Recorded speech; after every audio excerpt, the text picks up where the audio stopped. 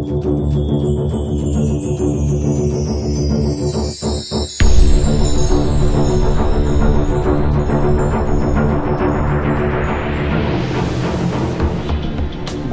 অনেকগুলো সময় আমরা বেছে নিই আমাদের পার্শ্ববর্তী রাজ্য উড়িষ্যাকে, পর্যটনের কেন্দ্র হিসাবে।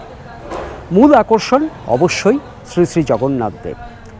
তার মন্দির দর্শন এবং তার পুজো দেওয়া সবটাই আমরা করি। কিন্তু তার পাশাপাশি এই উড়িষ্যাতে এই পুরীর একেবারে মন্দিরের একেবারে কাছেই রয়েছে জানকীনাথ বসু, যিনি নেতাজি সুভাষচন্দ্র বসুর বাবা ছিলেন, তার একটি পৈতৃক বাড়ি। সেখানেই গড়ে উঠেছে নেতাজি সুভাষচন্দ্রকে নিয়ে একটি মিউজিয়াম।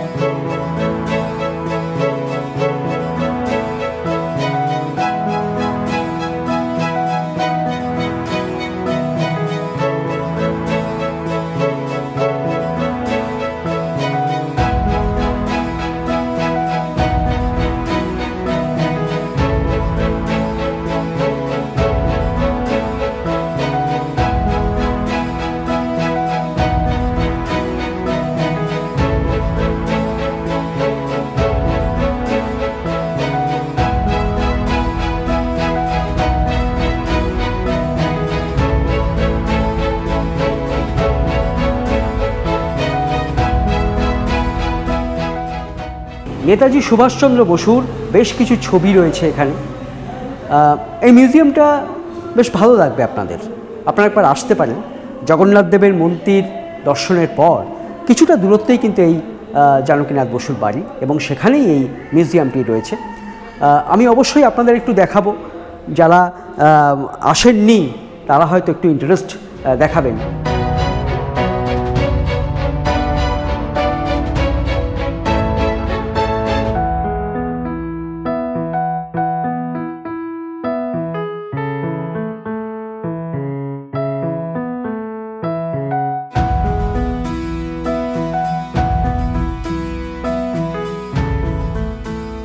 জানকীনাথ বসু জেলগিন রোডের বাড়ি। তার আগে জানকীনাথ বসু কটকের মতোই পুরীতে একটি বাড়ি নির্মাণ করেছিলেন এবং সেই সমুদ্রের ধারে সুভাষচন্দ্র বসু মাঝে মধ্যেই ছুটিতে গেছেন। আমরা পারিবারিক যে স্মৃতিগুলো পাচ্ছি, সেখানে কিন্তু খুব সঙ্গীতপ্রেমী সুভাষচন্দ্রকে খুঁজে পাচ্ছি।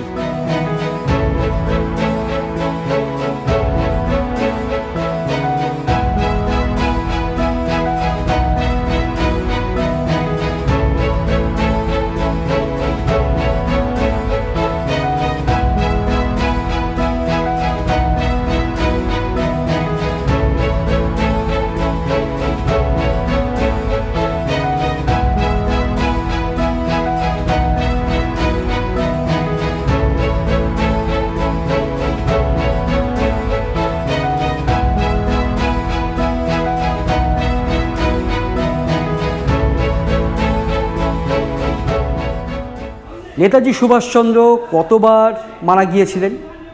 ভাবতে অবাক লাগে।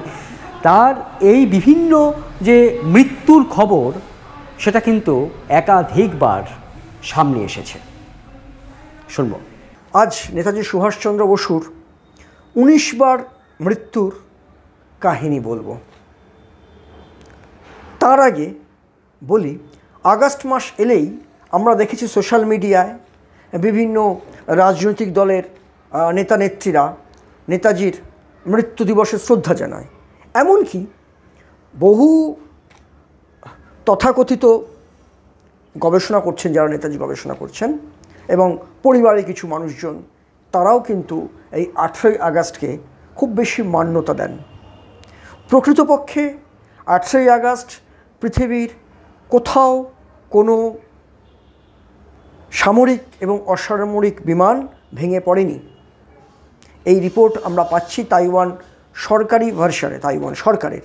শুধু তাই নয় দু সালে মুখার্জি কমিশন যে রিপোর্ট ছিল লোকসভায়, তৎকালীন স্বরাষ্ট্রমন্ত্রী শিবরাজ পাতিল প্রত্যাখ্যান করেছিলেন। বলেছিলেন, খোসলা কমিটি, খোসলা কমিশন এবং সহনাজ কমিটি যে তাইহুকু বিমান দুর্ঘটনায় নেতাজি মৃত্যুর গল্প বলেছেন, সেটাকেই ভারত সরকার মান্যতা দিচ্ছে। মুখার্জি কমিশন স্পষ্ট ভাষা জানিয়েছিল, কোনো এয়ার ক্র্যাশ হয়নি, ওই ছাই নেতাজির নয়। তৎসত্ত্বেও কিন্তু অফিসিয়াল স্ট্যান্ড ভারত সরকারের নেতাজি সুভাষচন্দ্র বসু আঠেরোই আগস্ট তার মৃত্যু হয়েছে। এবং যে গুগল আছে, সেই গুগলেও কিন্তু এই মিথ্যাটি প্রচার করা হয়।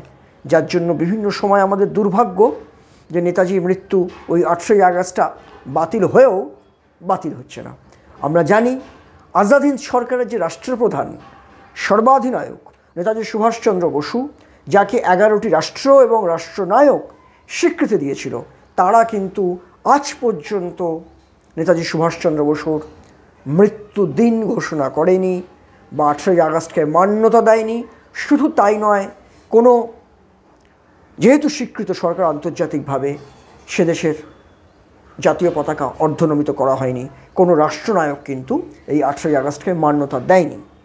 আমরা যদি একটু পিছিয়ে যাই, তার এই জীবন, সংগ্রামময় জীবন, যে প্রকাশ্য জীবন আমরা যেটা দেখতে পাচ্ছি, এই আটচল্লিশ বছরের যে প্রকাশ্য জীবন, পরেরটা তো অন্য ফেজ সেই নিয়ে একদিন নিশ্চয়ই দীর্ঘ আলোচনা করা যেতে পারে। আটচল্লিশ বছরের জীবনে নেতাজির ওপরে বারংবার মৃত্যু পরোয়ানা জারি করা হয়েছে।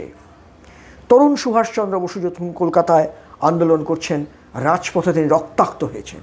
শুধু তাই নয়, আলিপুর সেন্ট্রাল জেল উনিশশো সালে সাতজন ওয়ার্ডার এবং ইনক্লুডিং সুপার নেতাজির ওপর ঝাঁপিয়ে পড়েছিল। প্রচণ্ড লাঠিপেটা করে রক্তাক্ত নেতাজি মাটিতে লুটিয়ে পড়েন। পাশে ছিলেন বেঙ্গল ভলেন্টিয়ার্সের মেজর সত্যগুপ্ত। তিনি সুভাষচন্দ্র বসুর উপর ঝাঁপিয়ে পড়েন। তাকে আগলে ধরেন অচৈতন্য সুভাষচন্দ্র বসুকে। ওয়ার্ডার চেষ্টা করেছিল, গুলি করবে সুভাষচন্দ্র বসুকে। তারপরে পিছিয়ে যায়।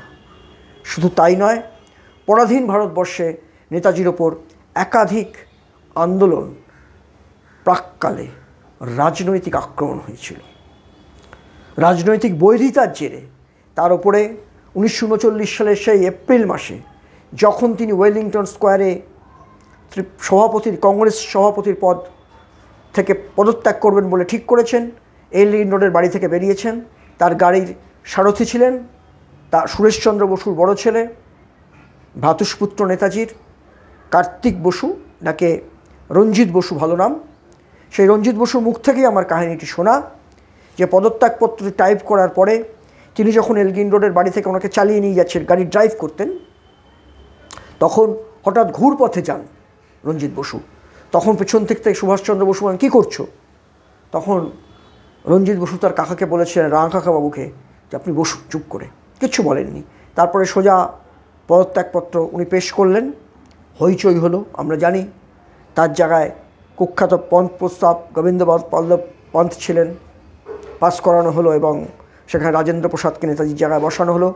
নেতাজি নিজ দায়িত্বে তার ভলেন্টিয়ারদের সাহায্যে বিক্ষুব্ধ জনতাকে স্তব্ধ করেন, বিক্ষুব্ধ জনতাকে শান্ত করেন, করে বিধানচন্দ্র রায়ের বাড়ি ওয়েলিংটন স্কোয়ারের ঠিক রাস্তার উল্টো দিকেই তার বাড়িতে নিরাপদে পৌঁছে দিয়েছিলেন।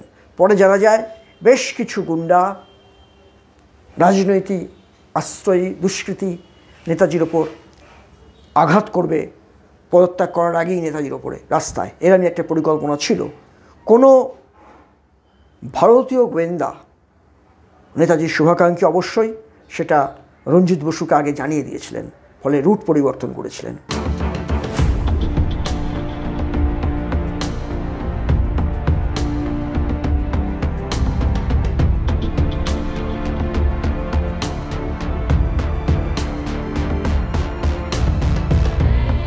নেতাজি সুভাষচন্দ্র নিয়ে অনেকগুলো তথ্য আমাদের জানা দরকার। শুনি না, কেমন তথ্য রয়েছে জয়ন্তবাবুর কাছে? নেতাজির ওপরে অনেক শত্রুতা ব্রিটিশ করেছিল, এমনকি প্রেসিডেন্সি জেলেও তাকে প্রায় যাতে মারা যায়, তার ব্যবস্থাই করেছিল। এবং তিনি অত্যন্ত বিপজ্জনকভাবে দেশ ছেড়েছিলেন।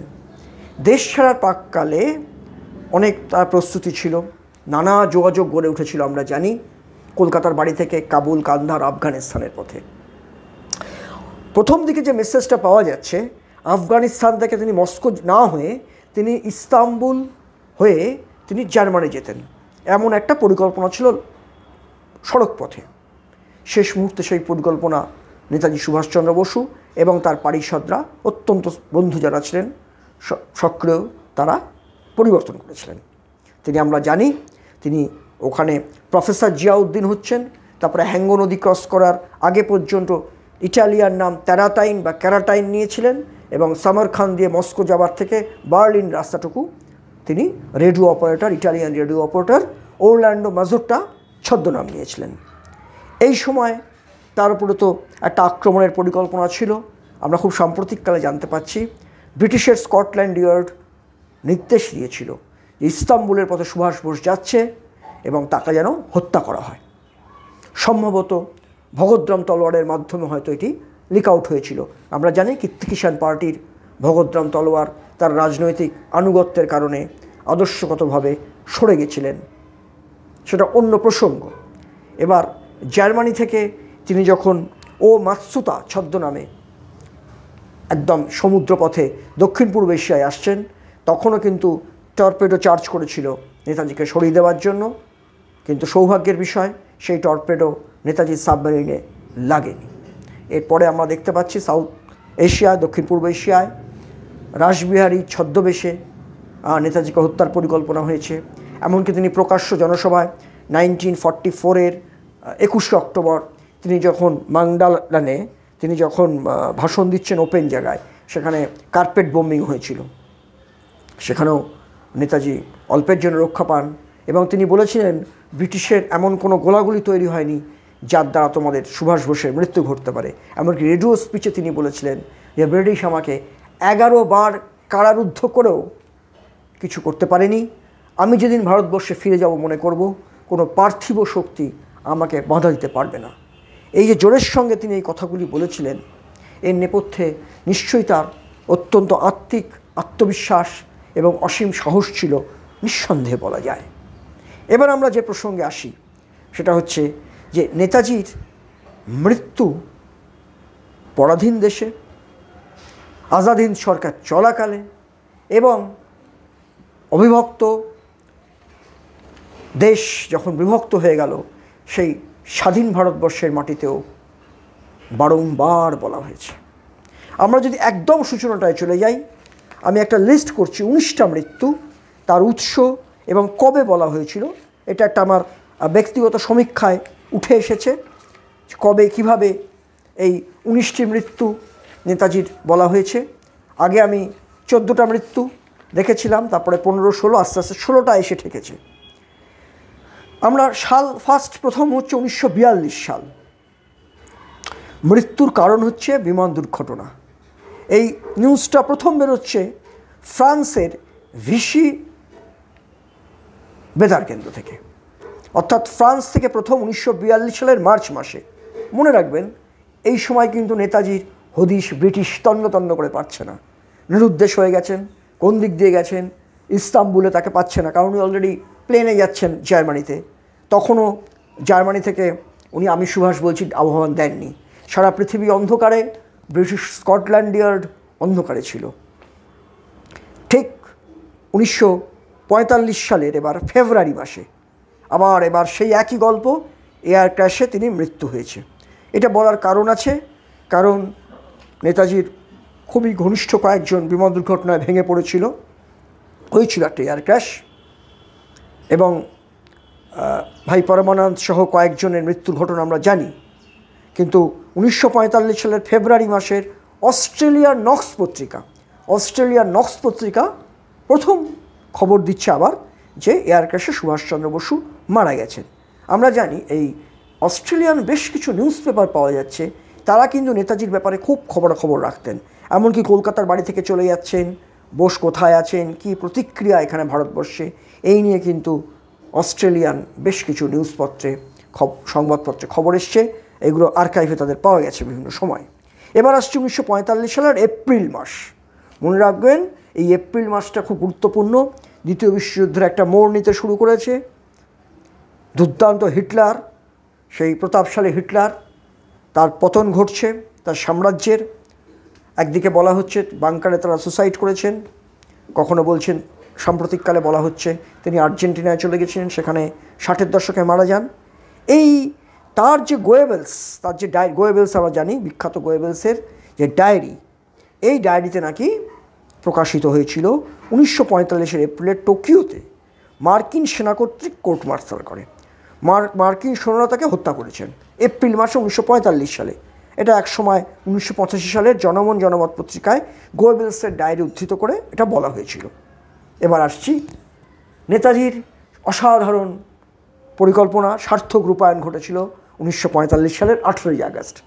ব্রিটিশ দু দুবার তাকে এয়ার ক্যাশে মেরে ফেলেছিলেন। সেই তাদেরই চালে দোমাই নিউজ এজেন্সি জাপানের কোনো সরকারি এজেন্সি না কিন্তু।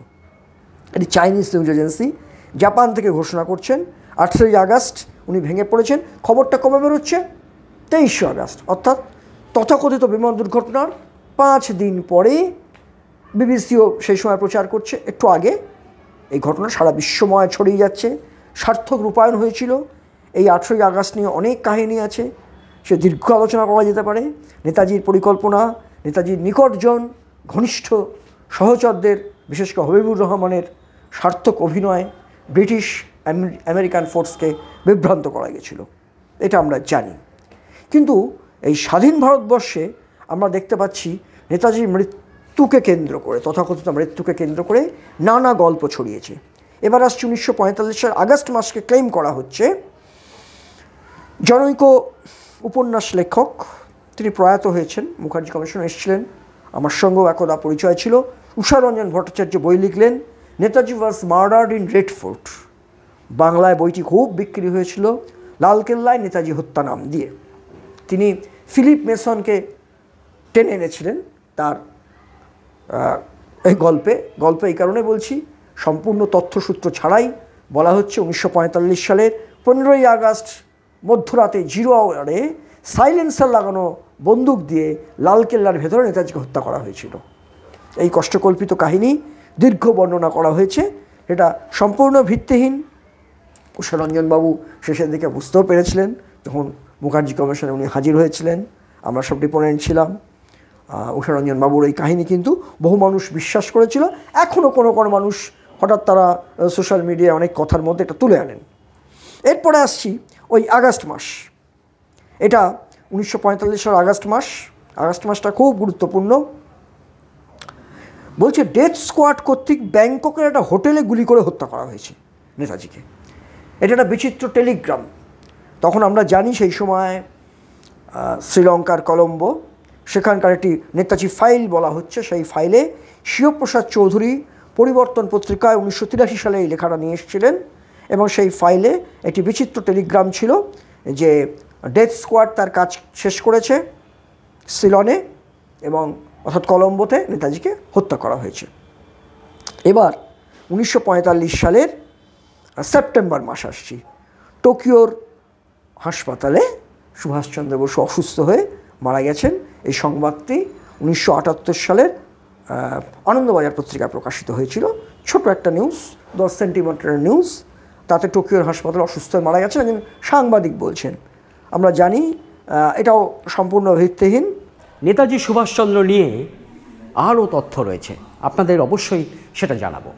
এবার আমরা আসছি উনিশশো একদম নতুন দাবি করা হচ্ছে এটা। দাবিটা করছেন প্যারিসের একজন গবেষক জেপিবি মোড়ে। তিনি দু হাজার সতেরো সালে এই দাবিটা করছেন, প্রেস কনফারেন্স করেছেন। কলকাতার সংবাদ প্রতিদিন পত্রিকা সতেরো সালে প্রকাশিত হয়েছিল। এবং তিনি বলছেন ভিয়েতনামের জেলে উনিশশো পঁয়তাল্লিশের সেপ্টেম্বরে, আগস্ট ছিল সেপ্টেম্বরে, সেখানকার ফাইলে নাকি দেখা যাচ্ছে ভিয়েতনামের জেলে তিনি মারা গেছেন। প্যারিসের কোন ফাইলে আছেন? অর্থাৎ নেতাজি তার মৃত্যুর ঘটনা, রটনা বিভিন্ন জায়গায় সাজিয়ে গেছিলেন। এটা তো একটা জ্বলন্ত প্রমাণ। এবার আসছি উনিশশো চুয়ান্ন সাল। সোর্স, নিউজের সোর্স হচ্ছে, ভারত সরকারকৃত সহনাজ কমিটির রিপোর্ট। এই সহনাজ কমিটির রিপোর্ট, তাতে বলা হচ্ছে, তাই হুকুর বিমান দুর্ঘটনায় নেতাজি সুভাষচন্দ্র বসু মারা গেছেন আঠেরোই আগস্ট। উল্লেখযোগ্য এস এন মৈত্র সহনাজ, এই দুজন মৃত্যুর পক্ষে সওয়াল করলেন। নেতাজি শেষ দাদা সুরেশচন্দ্র বসু একমত হননি। তিনি ডিসেনশিয়েন্ট রিপোর্ট লিখেছিলেন, নিজ ব্যয় ছেপে প্রকাশ করেছিলেন, সেখানে স্পষ্টভাবে প্রমাণ করেছেন। কোনো এয়ার ক্র্যাশ হয়নি এবং জওহরলাল নেহরু একটা তাকে চিঠি দিয়েছিলেন। তিনি স্পষ্ট ভাষায় সুরেশচন্দ্র বসুকে জানিয়েছিলেন যে কোনো গভর্নমেন্ট অফ ইন্ডিয়ার কাছে কোনো প্রিসাইজ ডেফিনিট প্রুফ নেই যে বোস মারা গেছেন। তাই হুকুর বিমান দুর্ঘটনায়। এবার আসছি উনিশশো পঞ্চান্ন সাল। রাশিয়ার বন্দি শিবির স্ট্যালিন কর্তৃক নেতাজিকে হত্যা করা হয়েছে। এটি লিখেছেন ডক্টর সত্যনারায়ণ সিংহ, তার নেতাজি মিস্ট্রি বাংলায় নেতাজি রহস্য বইতে এবং একটি রাজনৈতিক পক্ষপাতিত্ব অবশ্যই আছে। তিনি নাকি ইয়াকুটুস্কের পঁয়তাল্লিশ নম্বর সেলে বন্দী ছিলেন। কোনো তথ্য প্রমাণ ছাড়াই এটি তিনি বলেছেন, রুশ কর্তৃক হত্যা। আজও কিন্তু কোনো গবেষক বা গবেষিকা গ্রহণযোগ্য প্রামাণ্য তথ্য দিতে পারেননি। এবার আসছি উনিশশো আটষট্টি সাল। এটা উনিশশো ছিয়ানব্বই সালের রাজপথ পত্রিকায় প্রকাশিত হয়েছিল। সেখানে বলা হচ্ছে, বাংলার মাটিতে তার স্বাভাবিক মৃত্যু হয়েছে। দক্ষিণেশ্বরে দক্ষিণেশ্বরে শ্রাদ্ধ হয়েছে একটি আশ্রমে এবং গঙ্গার পাড়ে তার সমাধি দেওয়া আছে। সিক্সটি এইটের এবার আসছে উনিশশো চুয়াত্তর সাল। তাই হোক বিমান দুর্ঘটনায় নেতাজির মৃত্যু। এটার উদ্গাতা, মাননীয় খোসলা কমিশনের রিপোর্ট। এই খোসলা কমিশন আপনারা জানেন, ইন্দিরা গান্ধীর অত্যন্ত স্নেহধন্য ছিলেন, নেহরু পরিবারেরই ছিলেন, বিভিন্ন কমিশন কমিটির তিনি মাথা ছিলেন, অনেক বিচিত্র বিচিত্র রায় তিনি দিয়েছেন, এই জিডি খোসলা, তিনি বললেন, শাহনাজ একদম কাট কপি পেস্টের মতোই, শাহনাজ কমিশনের বক্তব্যটা হুবহু বলে দিলেন, বললেন, রেঙ্কোজির ওই ছাই নেতাজির যদি হয়, তো ভারত সরকারের উচিত নিয়ে আসা। এটাই যে নতুনত্ব আছে। এরপরে আসছে উনিশশো সাতাত্তর সাল। এটা সানডে পত্রিকা সানডে ম্যাগাজিন উনিশশো সাতাত্তর সালের, এপ্রিলের প্রকাশিত হয়েছিল। এখানে বক্তব্য হচ্ছে নাইনটিন সেভেন্টি সেভেনে দেরাদুনের শৌলমারি আশ্রমের সাধু কথিত শারদানন্দজি ধ্যানরত অবস্থায় মারা গেছেন। শারদানন্দজি কিন্তু একাধিক ডামি ছিল। দেরাদুনে যে শারদানন্দজি চলে গেছিলেন, তিনি নেতাজি সুভাষচন্দ্র বসু ছিলেন না আমরা অনেকেই জানি। এবং তার যেখানে মৃত্যু হয়েছিল, জ্ঞানী মানুষ ছিলেন এখন একটা বেদি রয়েছে করা, দেরাদুনে। সেখানে কিন্তু তার যে ছবিটা পাওয়া যায়, ইন্টারনেটের কল্যাণে, ওই ছবিটিকে তলায় লেখা হয়, ইনি নাকি ফৈজাবাদে মৃত ভগবানজির বলে চালানো হয়। ওই যে সাধু, যাকে শারদানন্দজি বলা হচ্ছে, উনি প্রকৃত শারদানন্দজি নন, তিনি দেরাদুনে মারা যান উনিশশো সাতাত্তর সালে। সানডে পত্রিকায় প্রকাশিত হয়েছিল। এই নিউজটাও খুব ইন্টারেস্টিং ব্যাপার। যে দুদিন পরে সাংবাদিকরা সেখানে গেছেন। শেষকৃত্য হয়ে যাওয়ার দুদিন পরে। এবার আসছে উনিশশো পঁচাশি সাল। ফৈজাবাদ শহরের রামভবনে অজ্ঞাত পরিচয় গুমনামী সাধু, তার ধ্যানরত অবস্থায় মৃত্যু। বিভিন্ন সংবাদপত্রে, আলোকপাত পত্রিকায় উনিশশো পঁচাশি সালে প্রথম বেরিয়েছিল এবং এটা নিয়ে বহু চর্চা ঘটেছে। আমরা জানি ভগবানজি ওখানে মারা গেছেন। এমন গ্রহণযোগ্য কোনো প্রামাণ্য নথি, দলিল, সাক্ষ্য, প্রমাণ নেই। যারা বলছেন, ভগবানজি ওখানে মারা গেছেন, দেখেছেন, এখন, ইদানিংকালে বলছেন বিভিন্ন সোশ্যাল মিডিয়ায়, তারা কিন্তু মুখার্জি কমিশনে উল্টো কথা বলেছিলেন। মুখার্জি কমিশনে কিন্তু তারা বলেছেন, ভগবানজির দর্শনই পাননি। কিন্তু, স্বয়ং মনোজ মুখার্জি, যিনি সুপ্রিম কোর্টের মহামান্য বিচারক ছিলেন, তিনি কিন্তু তথ্যহীন ভাষায় একটি তথ্যচিত্রে সাক্ষাৎকার দিয়ে বলেছিলেন, তিনি একশো শতাংশ নিশ্চিত যে গুমনামী বাবা, অর্থাৎ ভগবানজি, নেতাজি সুভাষচন্দ্র বসু ছিলেন। আমার ব্যক্তিগত অনুসন্ধান গবেষণাও সেই দিকে ইঙ্গিত করছেন যে ভগবানজি, নেতাজি সুভাষচন্দ্র বসু ছাড়া কেউ নন। তবে উনি মারা গেছেন যে তত্ত্বটি দাঁড় করাবার চেষ্টা করা হয়, তথ্য প্রমাণ ছাড়া সেটি কিন্তু সঠিক নয়। এ বিষয়ে নিশ্চয়ই আমরা পরবর্তীকালে তথ্য প্রমাণ নিয়ে আলোচনা করতে পারি।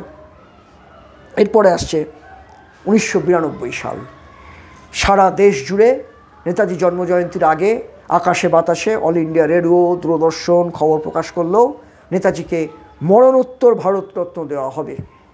এই পশ্চিমাস ভারতরত্ন নিয়ে উত্তাল হয়েছিল সারা দেশ, মামলা মকদ্দমা হয়েছিল, তার জেরেই পরবর্তীকালে আমরা দেখতে পাচ্ছি মুখার্জি কমিশন।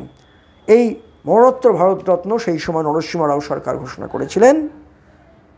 মৌলানা আবুল কালাম আজাদের সঙ্গে বাইশে জানুয়ারি ডিক্লেয়ার করা হয়। যে পরের দিন তাকে মরণোত্তর ভারতরত্ন ভোরবেলার সপ্রভাতী সংবাদপত্রে আমরা দেখলাম। অবশ্যই আনন্দের ব্যাপার, সরকার বাধ্য হয়েছিলেন, পিছু হটেছিলেন, তাকে মরণোত্তর ভারতরত্ন দিতে পারেননি।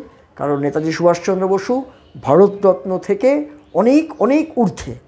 আপামোর জনসাধারণ দেশপ্রাণিক মানুষের নয়নের মণি, মানুষের হৃদয়ে বসবাস করছেন নেতাজি সুভাষচন্দ্র বসু। তাকে কোনো ভারতরত্নের ছাপ দেওয়ার প্রয়োজন পড়ে না। অবশ্য যারা ভারতরত্ন পেয়েছেন, তাদেরকে আমি মোটেই অসম্মান করছি না এর দ্বারা। কিন্তু রবীন্দ্রনাথ ঠাকুর, স্বামী বিবেকানন্দ কিংবা আমাদের নেতাজি সুভাষচন্দ্র বসুকে মরণোত্তর ভারতরত্ন বা ভারতরত্ন দিয়ে চিহ্নিত করার প্রয়োজনীয়তা নেই। এবার আসছি দু হাজার এক সালের মে মাস। তখন মুখার্জি কমিশন রান করছে। মহারাষ্ট্রের সীমান্ত প্রদেশ, উমগাঁওয়ের লালধারী বাবা, সাধু লালবাড়ি ধারী বাবা, তিনি হাসপাতালে মারা যান। তিনি একটি সুন্দর পার্লামেন্ট ভবন করেছিলেন, তার পোশাক আছে ইত্যাদি। সংবাদপত্র এবং ভক্তরা দাবি করেন এবং আমার কাছে বিভিন্ন সময় তারা কিছু নথিপত্র, দাঁত হসপিটালে চিকিৎসার কাগজপত্র পাঠিয়েছিলেন যে উনি নেতাজি সুভাষচন্দ্র বসু বলে তারা দাবি করছেন। কিন্তু আমি তাদের বিনয়ের সঙ্গে বলেছি যে লালধারী বাবা আর নেতাজি ভক্ত মানুষ হতেই পারেন। নিশ্চয়ই নেতাজির প্রতি প্রবল আনুগত্য ছিল তার। সম্ভবত শিখ এবং তিনি নেতাজি সুভাষচন্দ্র বসুর কাছের মানুষ হলেও নেতাজি সুভাষচন্দ্র বসু নন, স্পষ্টতই নন। এবার আসছি দু হাজার চার সালের নভেম্বর। উত্তরপ্রদেশের এটা আমাদের সতেরো নম্বর মৃত্যু চলছে। আপনারা ধৈর্যচ্যুত হবেন না। আর কয়েকটা আসছে। কারণ ভারতবর্ষে একমাত্র পৃথিবীর ইতিহাসে একমাত্র নেতাজি সুভাষচন্দ্র বসুই, যাকে নিয়ে এত মৃত্যুর গল্প, এত মৃত্যুর প্রতিষ্ঠার আপ্রাণ লড়াই, আপ্রাণ চেষ্টা, এবং নেতাজির নিজেই মৃত্যু গল্প ছড়িয়ে দিয়েছেন কি সুকৌশলে, সেটা আমরা দেখতে পাচ্ছি। তাই হুকুম বিমান দুর্ঘটনায় আমরা জানি সেখানে ডেড বডির ছবি নেই বা কোনো প্রামাণ্য নথিপত্র নেই। ঠিক যেমন হয়েছিল আমরা দেখতে পাচ্ছি ফৈজাবাদের ক্ষেত্রে, সেখানেও নেতাজির ওই ভগবানজির ডেড বডির ছবি পাওয়া যায়নি। এবার আসছি সতেরো নম্বর মৃত্যু দু হাজার চারের। আমরা লালধারীর বাবা দেখলাম যে তার বিভিন্ন ছবি পাওয়া গেলেও তিনি কিন্তু নেতাজি সুভাষচন্দ্র বসু নন। দু হাজার পাঁচের নভেম্বরে আঠেরোতম মৃত্যু যেটা দেখতে পাচ্ছি, সেটা ভারত, মাননীয় ভারত সরকার কর্তৃক নিযুক্ত মনোজ মুখার্জি কমিশনের যে সিদ্ধান্ত ছিল, খুব আশ্চর্য সিদ্ধান্ত এবং নিশ্চয়ই কোনো উদ্দেশ্য ছিল এই সিদ্ধান্তের পিছনে। তিনি বলছেন, ভারতীয়দের গড় আয়ুর নিরিখে আনুমানিকভাবে নেতাজির হয়তো স্বাভাবিক মৃত্যু ঘটেছে। নেতাজি সুভাষচন্দ্র বসু ডেড এটা লিখে দিয়েছিলেন পুরো। নোমর কিন্তু পাঁচটা তিনি সিদ্ধান্ত নিয়েছিলেন, এবং তিনি বলছেন এয়ার ক্রাশ হয়নি, ছাই নেতাজির নয় অবভিয়াসলি কিন্তু পরবর্তীকালে মনোজ মুখার্জি ক্লিঞ্চিং এভিডেন্সের অভাবে, অর্থাৎ আমরা জানি ভগবানজির ঘরে প্রাপ্ত যে দাঁতগুলো পাওয়া গেছিল, সেই দাঁত নিয়ে যে টেস্ট হয়েছিল ফরেন্সিক টেস্ট সেখানে অনেক গড়মিল ছিল। আমরা রিসেন্ট যে আরটিআইয়ের তথ্যের সূত্রে জানতে পারছি, কলকাতার যে ফরেন্সিক পার্সের কাছে যে আমাদের যে ফরেন্সিক ল্যাব আছে সেই ফরেন্সিক ল্যাবে সঠিকভাবে সেই দাঁতের পরীক্ষা করা হয়নি। এবং সেখানে বলা হয়েছিল একজন এজেট মেল কিন্তু নেতাজির মা বা বাবার দিকের সঙ্গে লিঙ্ক নেই। কিন্তু ডিএনএ টেস্টটা সঠিকভাবে মেডিকো লিগাল প্রসিডিওর মেনটেন করা হয়নি বলে জানা যাচ্ছে। অর্থাৎ উনিশশো পাঁচের দু হাজার পাঁচের নভেম্বর মাসে সাবমিট করেছিল মুখার্জি কমিশন সেখানেকার ছোট্ট এক পাতার কনক্লুশনে মনোজ মুখার্জি জানিয়েছিলেন, নেতাজি সুভাষচন্দ্র বসু মারা গেছেন, কারণ অ্যাভারেজ আয়ু। জানি না, এটা কোনো উদ্দেশ্য ছিল ওনার বলার মধ্যে নিশ্চয়ই, বাহাত্তর বছর নিশ্চয়ই অ্যাভারেজ আয়ু না। আমরা শতবর্ষ অতিক্রান্ত বহু মানুষকেই দেখতে পাচ্ছি, তারা রীতিমতো নির্বাচনে অংশগ্রহণ করেন, ভোটদান করেন। এইবার আসছি উনিশতম মৃত্যু। দু হাজার পাঁচের অক্টোবর, সাতাশে অক্টোবর। এটা টাইমস অফ ইন্ডিয়ার খবর। টাইমস অফ ইন্ডিয়া এটি বেরিয়েছিল উনিশ দশ দু হাজার পাঁচে। প্রাক্তন যে সারপঞ্চ সেখানকার, বলা হচ্ছে মধ্যপ্রদেশের গুনা জেলার চাকচিরো গ্রামে এক সাধুর স্বাভাবিক মৃত্যু হয়েছে। তার বয়স আনুমানিক তারা বলছেন একশো পঁচিশ বছর। আমরা জানি একশো পঁচিশ বছর নেতাজির এখনও হয়নি। আগামী বছর উনি পা দেবেন। দু হাজার পাঁচের সাতাশে অক্টোবর ওনার একশো পাঁচ হয়নি, বলছি একশো পঁচিশ হয়নি, সে একশো পঁচিশ বছরের সাধু মধ্যপ্রদেশের গুনা জেলার চাকচিরো গ্রামে মারা গেছেন। প্রাক্তন সরপঞ্চ রাজবংশী, মিস্টার রাজবংশ, তিনি দাবি করেছেন এটা, এবং এটা বেরিয়েছিল টাইমস অফ ইন্ডিয়ার খবর, ফার্স্ট পেজের ডান দিকের এক কলম খবর ছিল, প্রায় কুড়ি সেন্টিমিটারের খবর ছবিসহ নেতাজির। তা ভারতবর্ষের মাটিতে এই যে উনিশ বার তার প্রয়াণ এবং ব্রিটিশ অন্য হয়ে খুঁজেছে। বহু মানুষ ব্যক্তিগত অনুসন্ধান করেছেন। আজ পর্যন্ত কিন্তু তার মৃত্যু তারিখ নেই। এটা কিন্তু আমরা দায়িত্ব সহকারে বলতে পারি। কেন গুগল এটা করছে? জনমত নিশ্চয়ই সক্রিয় হওয়া দরকার। রাষ্ট্র নিশ্চয়ই এগিয়ে আসা দরকার। জনপ্রতিনিধি যারা আছেন, বহু মাননীয় নেতা নেত্রীরা আছেন, যারা নেতাজিকে প্রাণ থেকে ভালোবাসেন, তারা নিশ্চয়ই প্রয়োজনে বিধানসভা বা লোকসভায় বিষয়টি আনতে পারেন। গুগলে ইমিডিয়েট উনিশশো পঁয়তাল্লিশের আগস্ট মাসের মিথ্যাচার বন্ধ হওয়া দরকার। যেমন নেতাজিকে নিয়ে অনেক মিথ্যাচার বিভিন্ন ওয়েবসাইটে ছড়িয়ে আছে। এখন কোনো কোনো পরিবার, কোনো কোনো বলা হয় নাকি কন্যা, তারা দাবি করছেন ডিএনএ টেস্ট করা দরকার ছাইয়ের। ছাইয়ের তো ডিএনএ টেস্ট হয় না। মিস্টার কাশ্যপ, যিনি মুখার্জি কমিশনে এসেছিলেন, ফরেন্সিক ল্যাবের প্রধান কার্বনের ডিএনএ টেস্ট হয় না। এবং এই ছাইটা নিয়েও আপনারা জানেন যে পাঁচ মিশালি ছাইয়ের ব্যাপার আছে। উনিশশো উনআশি সালের ফোর্থ সেপ্টেম্বর ভোর রাতে ওই তথাকথিত রেনকোচি মন্দির পুরে ভস্মীভূত হয়ে গেছিল। তার নিউজ এজেন্সি তার খবর দিচ্ছেন, সেটা পরবর্তীকালে গড়ে তোলা হয়েছিল। হবিবুর রহমান যে বর্ণনা দিয়েছিলেন, লম্বা আর্ন ছিল, সেই আর্ন ভস্মীভূত হয়ে গেছে মন্দিরের সঙ্গে। মুখার্জি কমিশন যখন গিয়েছিলেন, তারা দেখেছিলেন কাঠের চারচৌকো একটি বাক্স। সেটা খুলতে পারেননি টেকনিশিয়ানের অভাবে জাপানের মতো উন্নত দেশে সেটা পায়নি তারা, এটা বিস্ময়কর। পরবর্তীকালে সেখানকার ভারতীয় রাষ্ট্রদূত সেখান থেকে পাঁচটা ছবি পাঠিয়েছিল বড় বড়। সেই ছবিতে স্পষ্ট, আনবার্ন জজ দাঁতের প্রকোষ্ঠ, মাথা frontal lobe parietal lobe unburned শুধু তাই নয়, চকচকে কার্বন পেপারের মধ্যে গুঁড়ো গুঁড়ো ছাই, কারুর ছাই তাকে মেশানো হয়েছে। অর্থাৎ তার মেডিকো লিগাল কোনো ভ্যালু নেই। কে কাস্টোডিয়ান ছিল? কীভাবে নিয়ে আসা হয়েছিল? এই ছাই, পাঁচ মেশার এই ছাইয়ের দীর্ঘ গল্প অথচ এই ভিত্তিহীন একটি বিষয়কে নিয়ে বারবার বলা হচ্ছে। ডিএনএ টেস্ট করলেই নাকি সব কিছু মিটে যাবে। বিজ্ঞানের মোড়কে একটা অবৈজ্ঞানিক বিষয়কে প্রচার করা হচ্ছে। কোনো কোনো পরিবার, ব্যক্তির তরফ থেকে দেশের মানুষকে বারবার বিভ্রান্ত করা হচ্ছে। বলা হচ্ছে জাপানের কাছে নাকি গোপন ফাইল রয়েছে।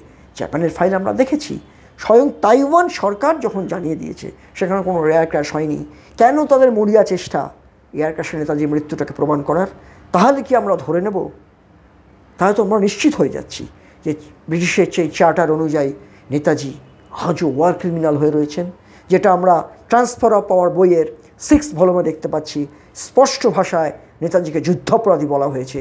তিনি যদি ভারতবর্ষে ব্যাক করেন, সেটা অ্যাংলো আমেরিকান ফোর্সের হাতে তাকে তুলে দিতে হবে।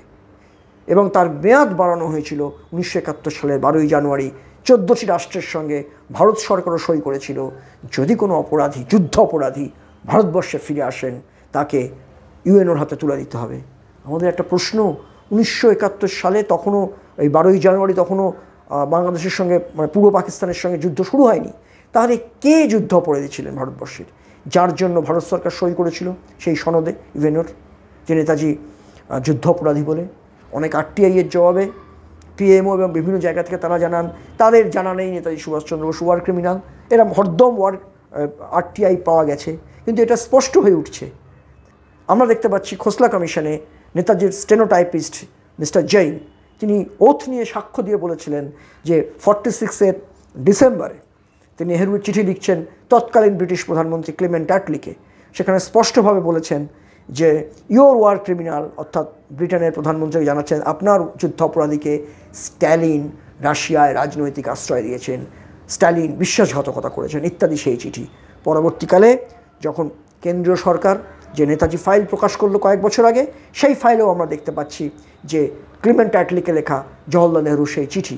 অনেকে বলছেন এই চিঠিটা নাকি বানান ভুল আছে ফলস কিন্তু প্রকৃতপক্ষে যাকে লেখা হয়েছিল চিঠি, এটা তো অফিস কপি আমরা বুঝতেই পাচ্ছি ইন্ডিয়া যেটা আছে ইন্ডিয়া অফিস যেটা আছে লন্ডনে সেখানে এই মূল চিঠি অফিস দেখে এসেছিলেন সমরেন্দ্র সেনগুপ্ত, বিখ্যাত কবি। তিনি ভিডিও সাক্ষাৎকারে জানিয়েছিলেন, মূল চিঠিটি রয়েছেন ক্লেমেন্ট অ্যাটলিকে লেখা লন্ডনে রয়েছে। অর্থাৎ জওহরলাল নেহরু ফর্টি সিক্সের ডিসেম্বরে স্পষ্ট ভাষায় উল্লেখ করেছেন নেতাজি যুদ্ধাপরাধী ওয়ার ক্রিমিনাল।